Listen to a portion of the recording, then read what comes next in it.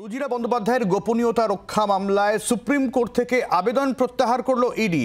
কলকাতা হাইকোর্টে বিচারপতি সব্যসাচী ভট্টাচার্যের নির্দেশকে চ্যালেঞ্জ করে চ্যালেঞ্জ করে ইডি। আগেই চ্যালেঞ্জ জানিয়ে সুপ্রিম কোর্টের দ্বারস্থ হয়েছিল। তারা একটু গোটা বিষয়টা বুঝে নেব। রাজীব রয়েছেন আমাদের সঙ্গে। রাজীব।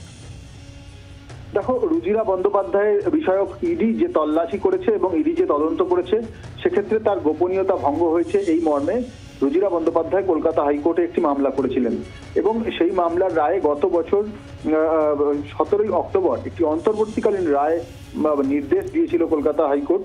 সেই হাইকোর্টের বিচারপতি সব্যসাচী ভট্টাচার্য বলেছিলেন যে তদন্তের ক্ষেত্রে সার্চ অ্যান্ড সিজারের সময় কোনো লাইভ স্ট্রিমিং করা যাবে না এবং ইডি অভিযান এরকম সার্চ করার ক্ষেত্রে, অভিযান চালানোর ক্ষেত্রে সংবাদ মাধ্যমকে আগে জানিয়ে সঙ্গে নিয়ে যেতে পারবে না। সেক্ষেত্রে গোপনীয়তা যে রক্ষা আইন, তাতে কিন্তু লঙ্ঘন করা হচ্ছে।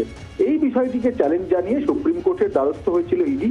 আজকে ইডির তরফে অ্যাডিশনাল সলিসিটর জেনারেল রাজু, তিনি সওয়াল করেন এবং তিনি বলেন যে, রাজ্য সরকার এক্ষেত্রে ইডির তরফে কিছু বক্তব্য রয়েছে এবং এই কলকাতা হাইকোর্টের নির্দেশটি ফাইনাল নির্দেশ হয়ে রয়েছে।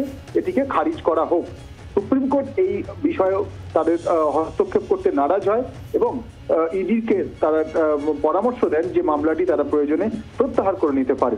আজকে বিচারপতি ঋষিকেশ রায় এবং বিচারপতি প্রশান্ত কুমার মিস্টার বেঞ্চে এই মামলা শুনানি ছিল এবং এই পরামর্শের পরেই ইডির তরফে মামলাটি প্রত্যাহার করে নেওয়া হয় তাদের আবেদন প্রত্যাহার করে নেওয়া হয়।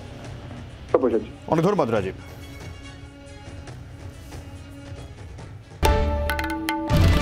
বাংলার আওয়াজ। বাঙালির আবেগ জি চব্বিশ ঘন্টা